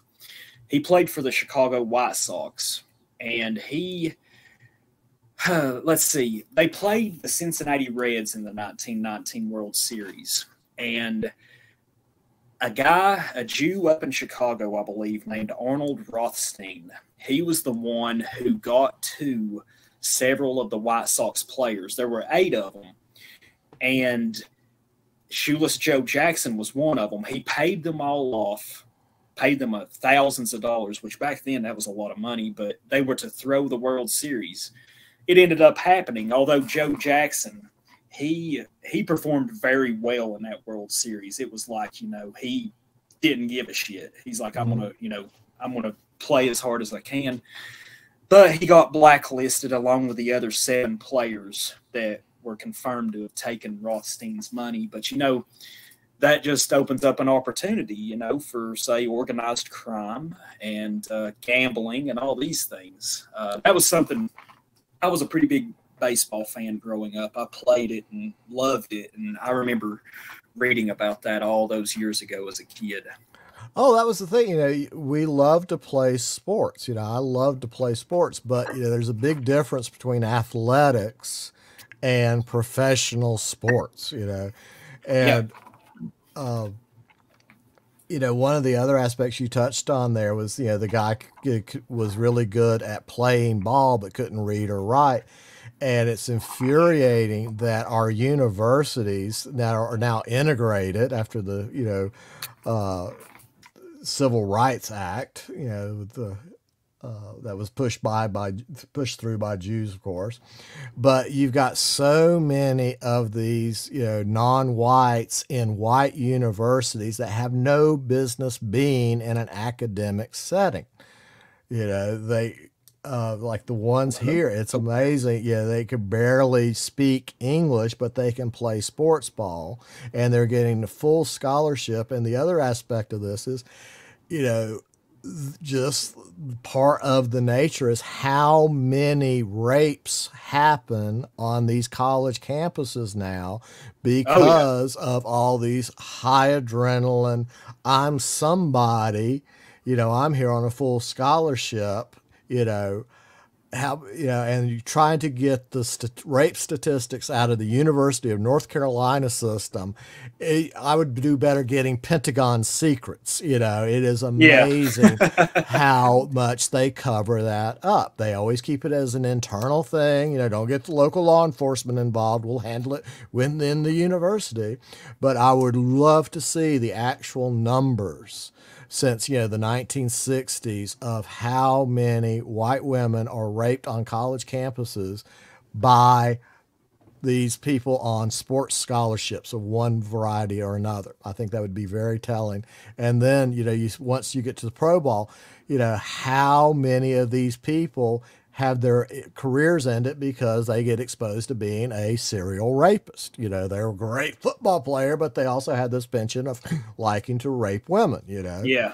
Uh, and that's just, you know, the other thing is like, why bring that into an academic setting? Of course, yeah, I've lost all respect for the university systems. It's oh, yeah. Such a corrupt, you know, system anymore. You know, it's all about, you know, putting people in debt and, yes, you know, just and it's so sad what the especially North Carolina. You know, we had you know one of the first public university, the University of Chapel Hill. Yeah. And for the longest time, that was the model of the world. You know, we have finally outdone Europe in public education. And look where it is now. I went, uh, God, I think the last ball sports ball game, a friend of mine got us tickets for one of the first UNC games. He was a huge Carolina fan. He said, "Oh, come on, we'll have a great time. We'll go out to dinner Chapel Hill. It'll be fun." So yeah. we went, and I'm sitting there, and the entire starting lineup of UNC Chapel Hill, the Tar Heels, right? Yeah. Not a single white guy on the floor in the starting lineup. When was this? Uh, that was probably about maybe 10 years ago. Yeah. And yeah, my dad he uh, he was always a big Tar Heels fan, at least in basketball. Yeah.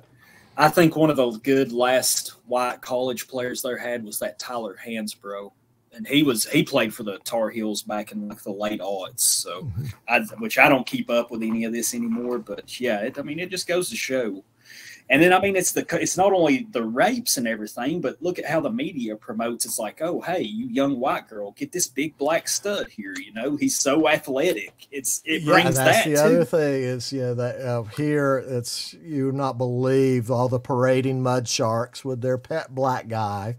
You yeah, know, it's like, oh, I'm not racist. Look, I've got a black boyfriend. It's like, yeah, come see me in about a year and tell me how it worked out for you.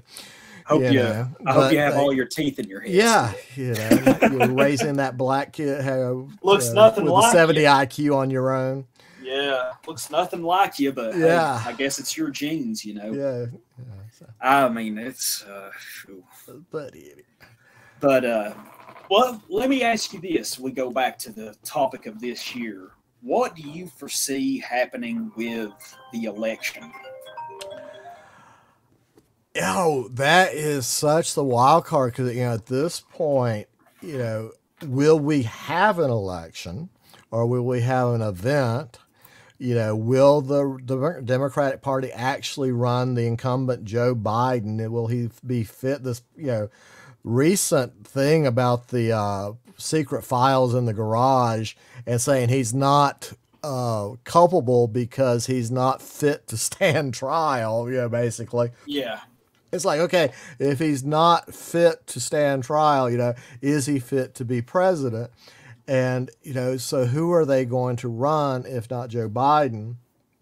And are they going to succeed? And, you know, what's the Supreme Court going to do with, you know, Colorado's, you know, taking Trump off the ballot?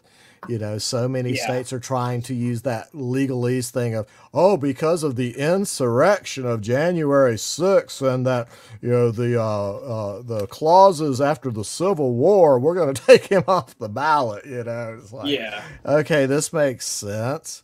Uh, and so, you know, we have a mess uh, in this nation, and the same thing, you know, at the state levels. You know, here in North Carolina, you know we're looking at having our attorney general, you know, the carpetbagger commie boy wonder, Josh Stein, as possibly uh, following COVID King Roy Cooper as governor. You know, and if wow. that happens, this state is doomed. You know, yeah. you know, uh, because Josh Stein is just you know, we've got to bring in the third world and we've got to, you know, make these white people pay for slavery and the Civil War and just, you know, we just, you know, got to remove every white person from any position of power in this state. You know, and that's, you know, Josh Stein, and he's the attorney general. You know, and is yeah, he I've heard governor? That, I've heard that name, Josh Stein, before. Oh, he's a piece of work, let me tell you. Good Lord. You know, uh, Okay, what do you think about this? You know, with what happened in 2020, and uh, I was going to say, Blackbird, check out a guy. He's in the chat here. His name's Didymus Sumi did, but back in 2020, he actually called this. He was talking about he wanted. I mean, it was pretty pretty great observations on his part. He was talking about what was going to happen with the election and like the fraud and everything. And he said he kind of called it like a couple of months beforehand. He said he wanted to see something happen to where Trump would have to fight his ass off, even though Trump apparently didn't really fight his ass off, you know. Uh, it's really interesting. I would check that out. But in the chat, I just wanted to say that he said, I have the feeling that Blump is going to end up in a casket or in a penitentiary if he doesn't drop out.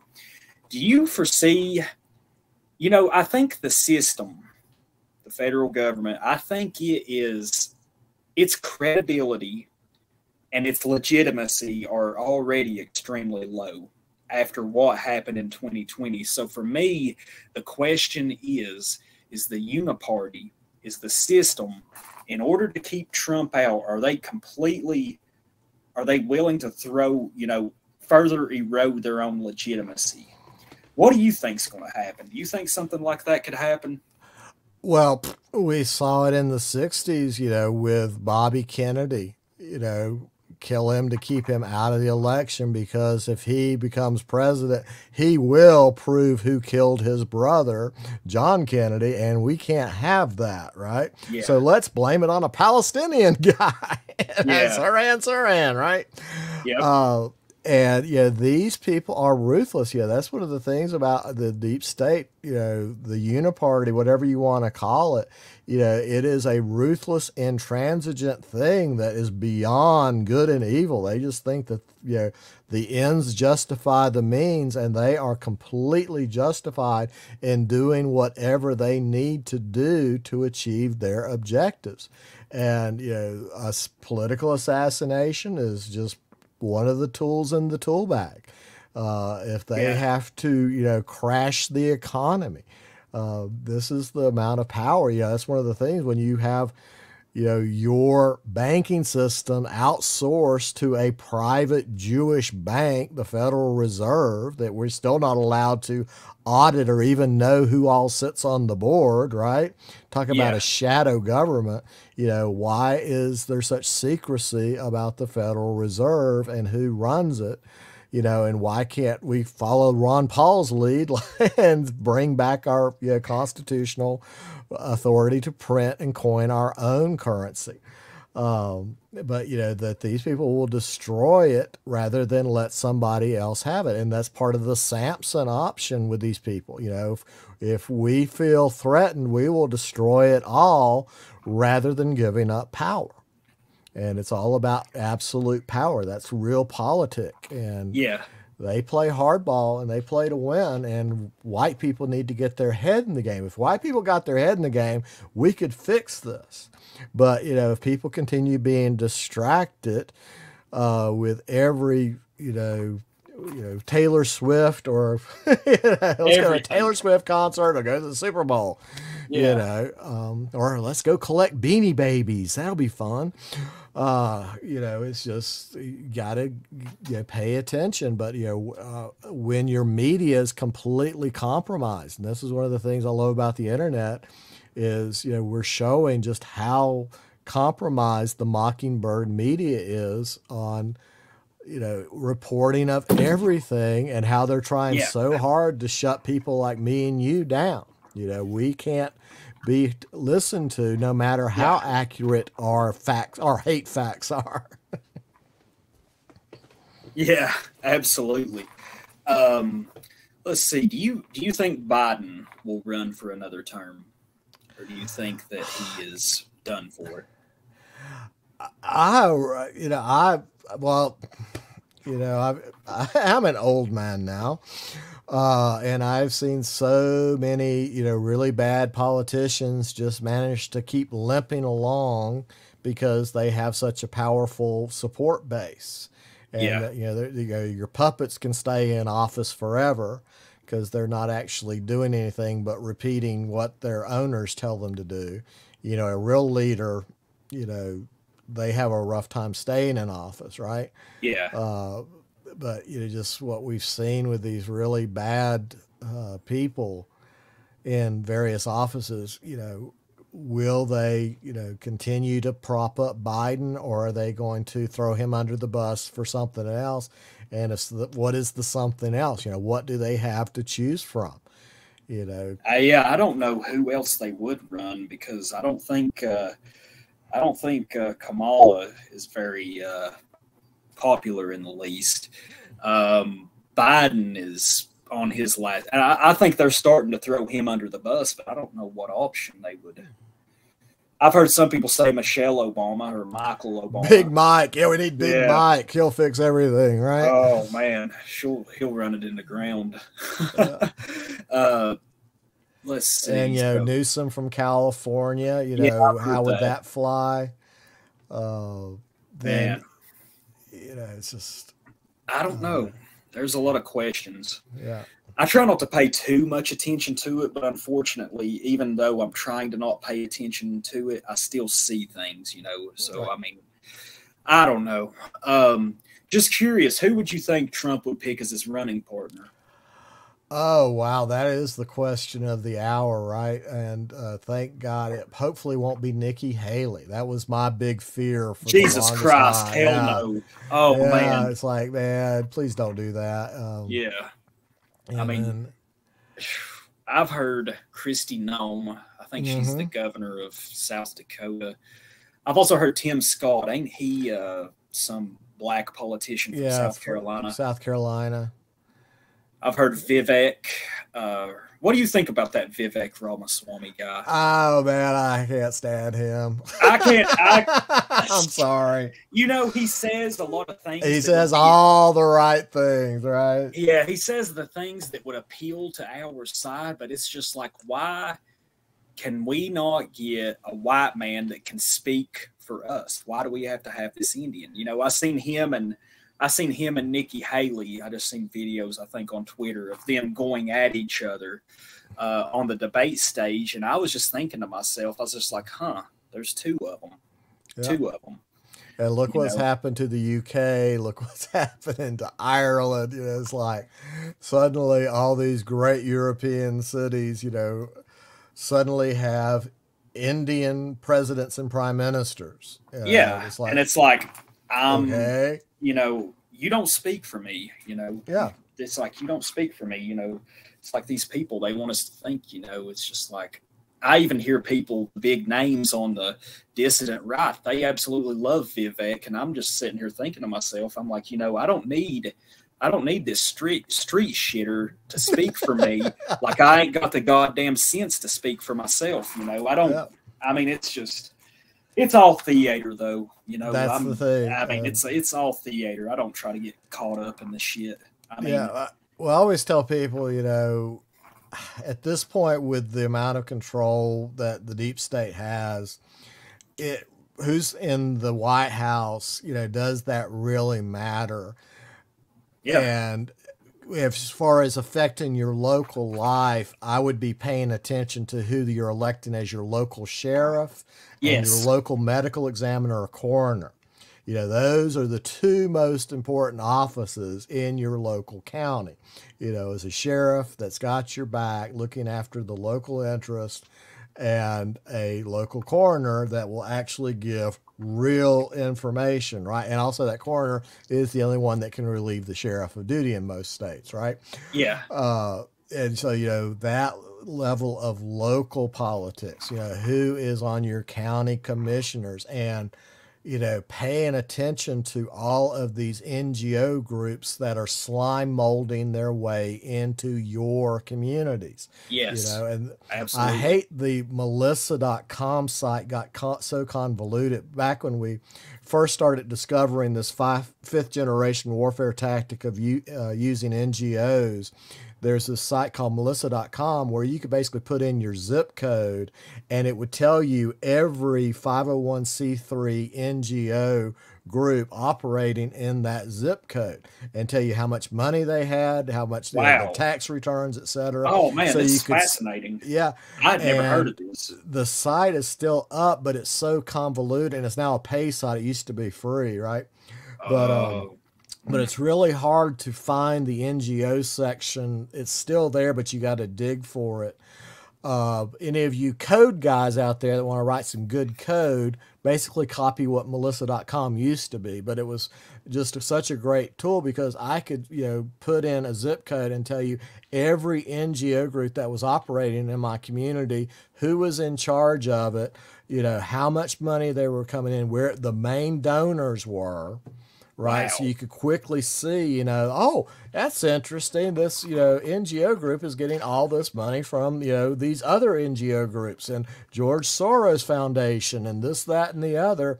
And you can start connecting the dots of all these shell, you know, limited liability yeah. companies yep. and uh, philanthropy groups that were destroying your community. And, you know, you could single these people out.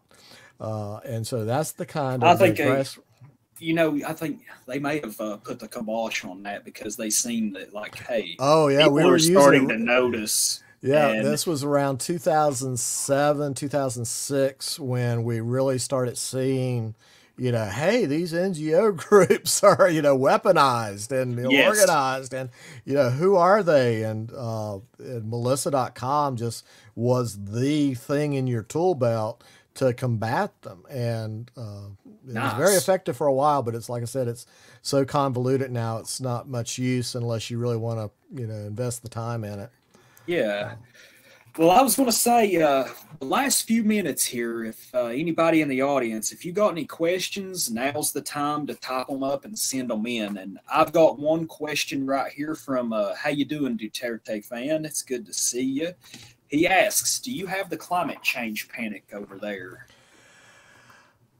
They keep trying. We've got all these NGO, you know, groups that are, you know, green and then just, you know, trying to push that. And I think people just, they, uh, aren't in panic mode. I think. I think a lot of. I think yeah, a lot of the fear.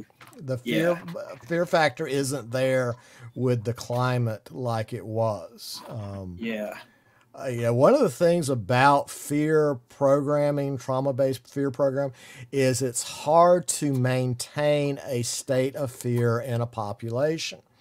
Uh, and it's very effective at first, but you know people just get numb to it, where they just you know I don't care anymore. If it happens, it happens, and yeah. then the effectiveness of that tool wears off. And I think you know, people are just really disgusted with the left so much that they and uh, what is it, Greta Thunberg or whatever her name yeah. is. You know, she was, uh, you know, she was the best thing that happened to us. You know, because she was just so annoying. It's kind of like when you know Abe Foxman was replaced with Jonathan Nosferatu Greenblatt. That was yeah. the best thing to happen to white people in America in a very long time because he's just such an irritating individual individual that everybody's just like, I don't care anymore. You know, I you know I don't care if Jonathan Greenblatt thinks I'm a uh, white supremacist or a Nazi or a redneck or whatever. I just don't care. You know.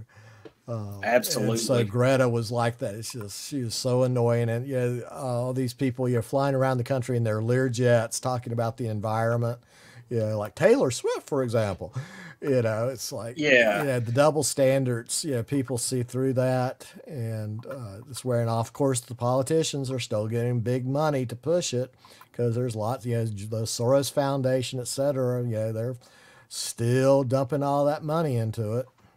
Yeah, absolutely. You know, I think some of the for those that were paying attention, I think uh, climate change has kind of been seen as a fraud. If you paid attention to what happened with the Nord Stream. Uh, the Nord Stream pipeline. Didn't that event produce the most the the leak? Remember when was uh, that? Was it early 2023? yeah. You know that put out more CO2 than any uh, any uh, other event in history, maybe.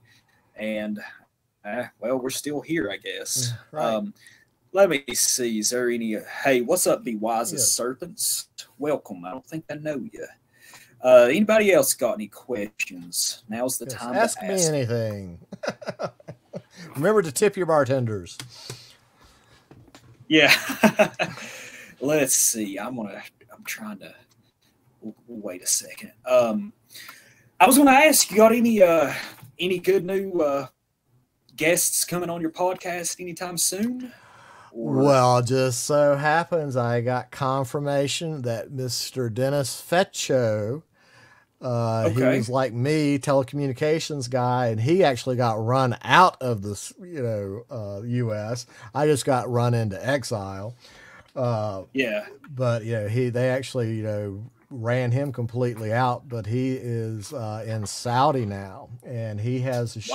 Wow every Saturday forever called Inside the Eye Live with Dennis Fetcho. And he's like me, where he looks at the political, but also the esoteric. You know, he's like oh, into the, the, the headset of these people. I was going to ask, is he on Republic Broadcasting? No, unfortunately, I'd love for him, uh, Republic, to carry his show, but he's on Speak Free Radio.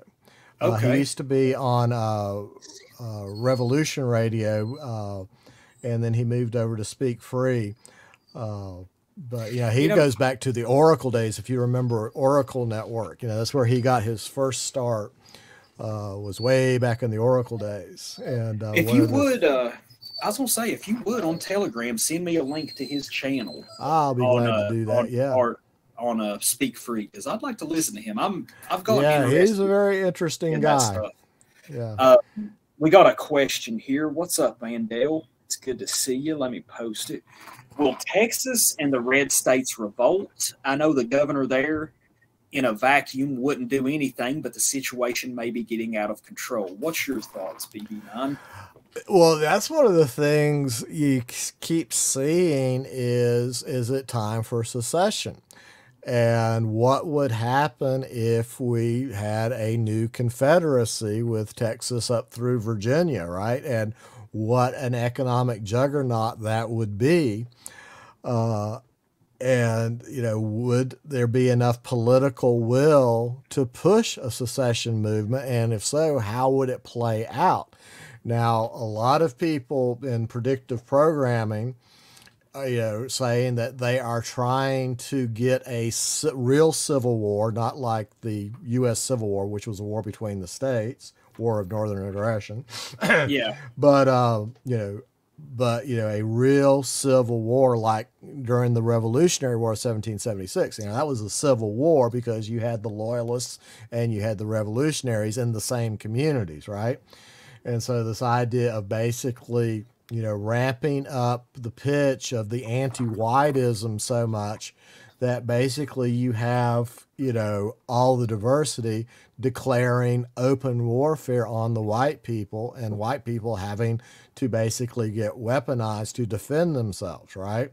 That yeah. would be a real civil war situation that then what would play out of trying to quell it and is this you know a way to open up to UN troops to come in and put down the rebellion and restore order right so yeah. Uh, one of the big movies that's coming out the beginning of the year is Civil War yeah, and it's exactly along those sort lines. Predictive you know? programming, perhaps. Predictive programming, right? So, yeah, that's one of the things. And you see, so well, there was a bill uh, introduced this past week where they're trying to outlaw militia groups.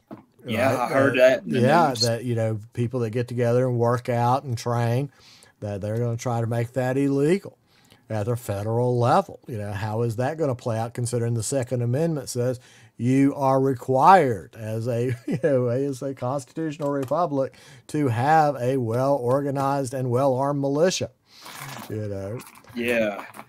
Oh, it's uh, it's interesting times that we live in. That's for sure. Yeah, I just I just feel so sorry for this young generation because, you know, I grew up in the '60s and '70s, right?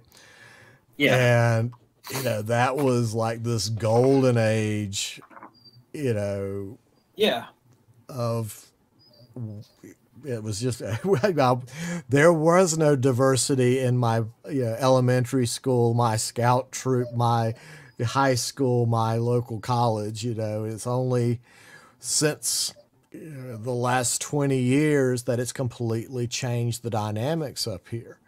Yeah. And now in some of these rural areas, the white kids are the minority. The local heritage Appalachian white kids are now minorities in these schools, just like in Ireland and England, you know, France. You know, they are being pushed out and they are making those kids' lives total hell. Imagine yeah. having to go into that kind of jungle every day uh, just you know you're in survival mode waiting to see who's going to sucker punch you by your locker you know that day. Yeah. Right?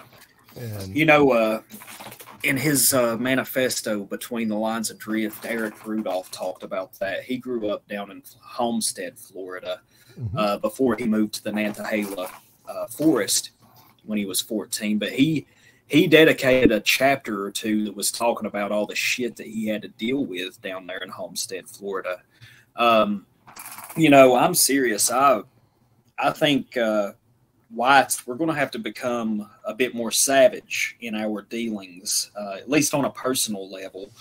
Um, I mean, you you if you have children, you need to train them to know how to fight, and you know they need to get a little bit of street smarts, you could say, because I mean, even though here at Appalachia is uh, largely why I see what's going to happen. They're going to start bussing these uh, these migrants up here, so you know we need to be prepared for that instance and uh, you know be able to hold our own. You know, the days of just uh, being non-confrontational when you're confronted, it, it ain't gonna work. I get so tired of seeing that shit. Some of these mm-hmm. channels post, you know, oh, this white kid's getting the shit beat out of him, and all he does is ball up in a ball. I want to see otherwise, you know.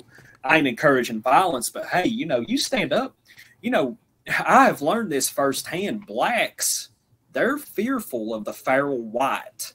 If there's a white person that's like, hey, I'm hip to the game, I know what you're trying to do and it's not going to work on me. You know, they kind of look at you different, you know. Oh, definitely. You need to have. If you try to play that soft guy, oh, I don't see race. Oh, you know, they're oh, they're going to they're going to eat you alive. Eat yes. you alive, right? So there needs to be a sort of militant instruction for the youth right. that know how to deal with this. Right. But uh, well, I think uh, let's see there's one. Well, I'll ask this one last question. How you doing, Finn Wraith? It's good to see you. Um, are the whites starting to move from there to some other part of the country? Uh, uh, he's talking about, I guess, Boone in Appalachia, where you're at. Unfortunately, the reasons are people are selling family lands yes. for what yes. they think is a big thing of money and then going and buying a house you know in some place that's not so rural you know some place closer to the cities etc because you know in the suburbs etc um, you know that's a disturbing trend because you're seeing these family farms that have been here since colonial times. Generations. Generational generations. farms just shut down and they become strip malls and gated communities, right? Yes. And so you see the families, you know, basically mom, dad die. They, you know, we're going to sell the farm and split the money rather than, you know, one of the family, family members moving in and keeping the family together yes. and putting it back in production. That's, that infuriates me. Yeah. and that's what I went. That's what I went through with my family. You know, I oh, was, oh, you know, my plan was to put the hundred acre wood back into full production, and my brother and sister had other plans. It's like, no, that's our retirement. We're selling it, and so, oh I, man, yeah, and so that's heartbreaking. That shit. Oh, it runs. is. I know our family land back home. Me and my brother, we've already resolved. You know, we're not. That's never. That's that's never leaving our hands we won't be the oh, ones. Good. We're going to teach our kids, you know, to hey, this is this is your land. It's been in our family for seven, well, with my kids, eight generations now. My my daughter and his daughter, that's eight generations. We ain't, mm-hmm. you know, we ain't giving that up. Screw that. And you know? when you look at the, you know, the the deep state mindset is one of the big things is the destruction of the nuclear family. Yep. And no private property and you oh, can yeah. just see that attitude playing out where they're making it impossible for you to own a piece of land and have a family on it. they're yes. trying to block that every way they can. And of course, one of the big things is have those big bags of money saying, "Oh, we'll give you your top dollar for that." Yeah. And I get you know uh, letters every week from all these, you know, like Vanguard and BlackRock front companies willing to buy my land. We'll give you this much money right yeah. now for that farmland. It's like, who are you? All these people are out of state, right? Who are you? How do you know I have land and it's none of your business? And uh, it's just you know maddening that you know, they're just really trying to push that you know buying up the family land, especially in this Appalachian it's... mountain range. They hate us because we are a fierce, independent people, and they hate that. they want us dependent in slavery, you know, independent in slavery. I guess I should say. Oh, let's see. Well, um, uh, I've got six acres and acres in South Louisiana, but it's compromised down here. I'm going to have to leave. Way too many nons. I've, hmm, I don't want to tell you to run scaffolder. You know, I don't want to tell you to, you know, just ditch. But I mean, if you can find six acres, say in Appalachia or somewhere, uh, somewhere further north, by all means. Um, there's one more question I'll ask. It's my, from my friend Oxstone. Let me post it here. If there is a point where moralistic rebellion cannot be accomplished regardless of excessive continuing justification, what is a proper solution for those individuals who cannot end the turmoil? Um, mm, that's a deep question. Mm-hmm. Not quite sure what he's asking there. Yeah, uh, moralistic rebellion. Um, uh, cannot end the turmoil. If you could uh, clarify a little bit, Stone Ox, here in the next minute or so, we'll try to answer it. I'm going to say, as far as ending turmoil, there's a concept called the finite game and the infinite game. And it's a book, a book that I read last year, but the name of the author uh, escapes me right now. But a finite game is like your typical battle.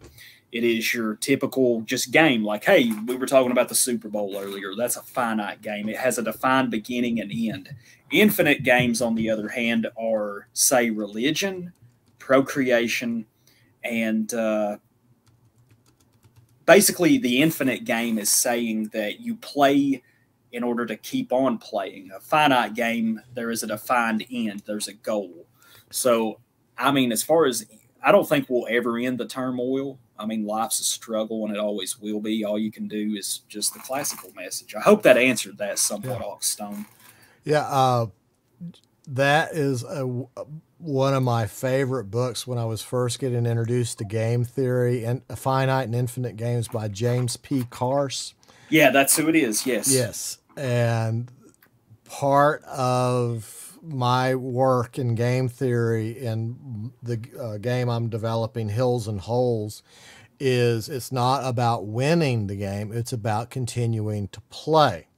And we find ourselves in an existential battle. You know, there are pow- powerful people that want us gone. They want us exterminated. And when you're in an existential battle, merely surviving is an act of rebellion. It is. So, Absolutely. So, you know, the idea of just, you know, keep living, keep, you know, fighting. And that is an act of rebellion. And it's like you said, the infinite game. You're playing to play, not to win. Yeah. You know, winning is just continuing to play. Absolutely. Well, I want to thank you again, Blackbird Nine. We've been going for two hours. oh, this has been great. I really I've appreciate you. I'm it. glad it finally worked out. I hate we. I know. trying to do this for months now. yes, yes. I'm glad it's finally panned out. Uh, yeah. I want to say the door is always open. You're always welcome back. And uh, do you have any final final words you want to say to the audience? Well, just I want to invite you back on the Snack Shack sometime. Uh, yeah, really like enjoyed on. you and the Hillbilly Professor, so y'all need to come back on soon. Yeah, love I, to have you. I enjoyed the uh, call-in feature that RBN does. I thought that was pretty cool. Yeah. I'd like to do call-ins on here somehow if I could work it out one day. Yeah. But I have thoroughly enjoyed it, and I really appreciate all the people listening. I've been in, uh, really enjoying all the comments in the chat and uh, really good questions. So uh, yeah, I'd like to see everyone come and join us at the Snack Shack some Saturday night.